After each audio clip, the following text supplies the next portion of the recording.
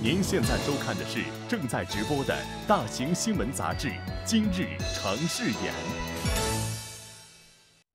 欢迎回来，接着来看，继续来关注在淄博举行的全国足球业余联赛北四区的比赛。八月二十一号，比赛进行了小组赛的最后一场争夺。尽管青岛红狮队在比赛中二比一战胜了洛阳队，但因竞争对手淄博星期天同样获得了胜利，最终无缘总决赛，失去了冲击中乙的资格。而岛城另外一支球队青岛康泰源则大胜对手，进入总决赛。红狮队小组赛的第三个对手是洛阳旅发队，本场比赛前已经失去了进入最后总决赛的资格。而红狮队必须寄望于大比分战胜对手，同时淄博星期天爆冷输球才有晋级的资格。比赛开始后，已经无路可退的红狮队反而自乱阵脚，队员们十分急躁，进攻失误频频。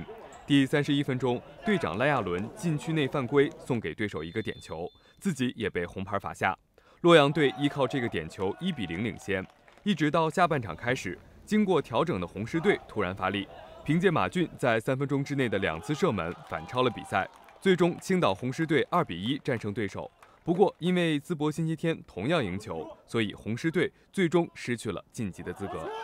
I cannot be satisfied if we don't go to the next round, of course, because that was that was our target. The players did well, proved themselves, but for the club, I cannot be satisfied. 而身处另一个小组的青岛康泰源，在没有太多人看好的情况下，在小组最后一场比赛中迎来大爆发。他们七比一狂胜河南东方经典，其中队长田勇一人攻入六粒进球，孟太义利用点球锦上添花。他们也凭借本场胜利，最终以两胜一平的成绩力压其他对手出线。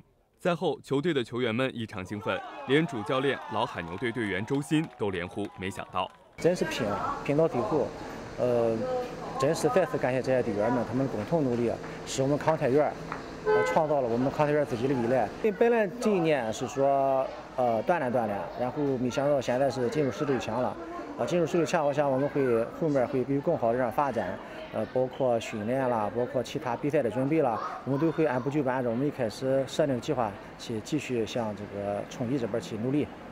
记者了解到，全国足球业余联赛最后的总决赛将在九月份举行，共有十六支球队参加，各队进行主客场淘汰赛。最后的前四强将直接进入明年的中乙联赛。